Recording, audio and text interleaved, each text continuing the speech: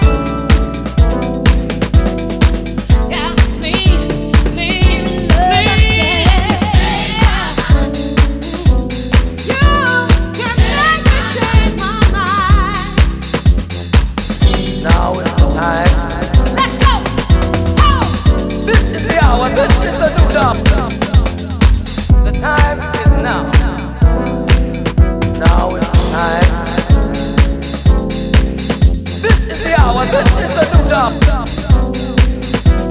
This is the new day.